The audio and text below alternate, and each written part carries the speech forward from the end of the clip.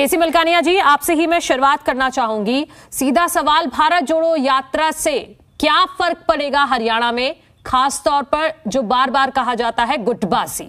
इसको लेकर। देखो जी, जो भारत जोड़ो यात्रा है, इससे पहले भी कई नेताओं ने यात्रा की है, उसका लाभ पहुँचा है।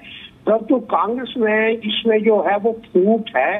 कांग्रेस के संगठन पे क्वेश्चन उठते रहे हैं और ये कहते रहे हैं कि परिवारवाद है नेहरू खानदान इस पे चला आ रहा है। परंतु अब जो है कांग्रेस पार्टी ने खड़गे जी को अपना अध्यक्ष बना दिया है और राहुल गांधी ने साफ़ कर दिया कि जो आपने प्रश्न पूछना है वो खड़गे जी से पहुँचे मैं अध्यक्ष नहीं, अध्यक्ष वो है।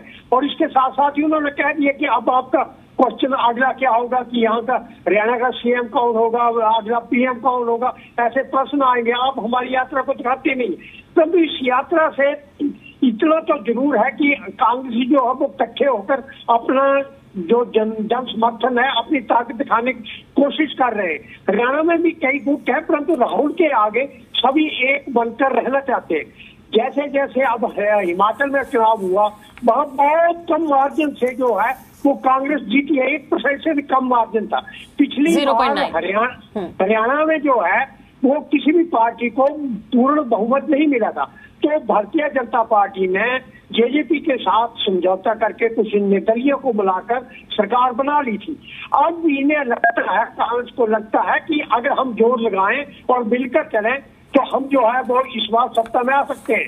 जो हम्म। हिमाचल का चुनाव परिणाम है उसने हरियाणा कांग्रेस को संजीवनी दी है और हुड्डा जी बाकी पार्टी के नेता हम सब सभी दिखा रहे हैं गुटबाजी भी नज़र आ रही परंतु इसलिए भी ज़ोर ला रहे हैं कि हम सत्ता में आए।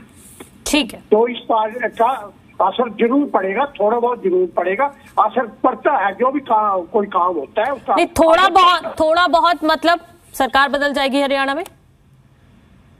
नहीं बदलने की बात तो नहीं वो तो चुनाव आएँगे तभी। बदलेगी ना चुनाव के ऐसे पहले तो बदलने वाले ठीक है आप कह रहे हैं थोड़ा बहुत स्थिति में सुधार होगा। ठीक है।